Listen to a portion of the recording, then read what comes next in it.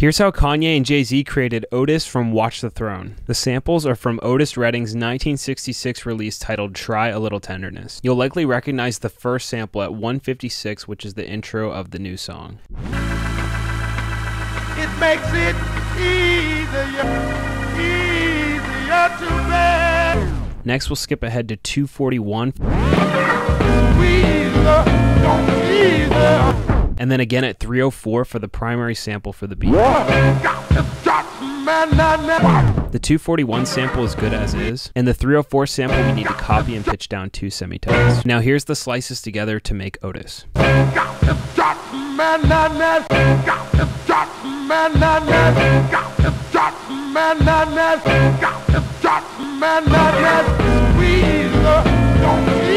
Hope you enjoyed it. Thanks for